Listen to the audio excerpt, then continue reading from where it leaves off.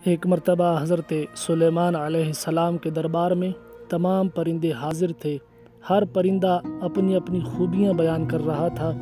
जब हुद हुद की बारी आई तो वो अर्ज़ करने लगा कि, ए अल्लाह के नबी, एक मामूली सी खूबी मुझमें भी है, और वो ये है कि जब मैं बुलंदी में उड़ता हूँ तो मैं ज़मीन की गहराई में पानी को तलाश कर लेता हूँ, पानी को देख लेता हूँ।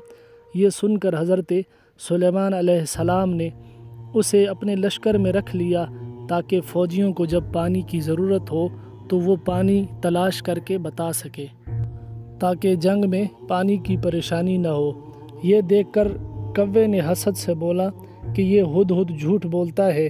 अगर वाकई इसकी नज़र इतनी तेज़ होती तो ये कभी भी शिकारी के जाल में न फंसता। ये सुनकर हज़रत सुलेमान सलाम ने हुद हुद से पूछा कि तुम इस बारे में क्या कहते हो?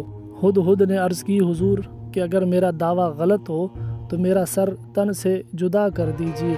मैं हवा में जाल को तो देख लेता हूँ, मगर तकदीर इलाही मेरी अकल की आँख को बंद कर देती है।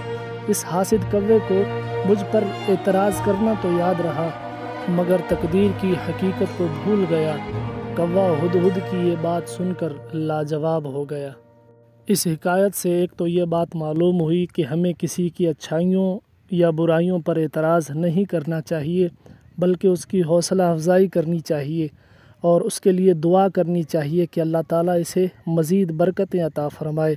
और दूसरी बात, किसी से हसद नहीं करना चाहिए, क्योंकि हसद एक कबीरा गुनाह है और हराम है और हदीस मुबारक में है कि हसद नेकियों को इस तरह जला देती है जिस तरह आग लकड़ी को।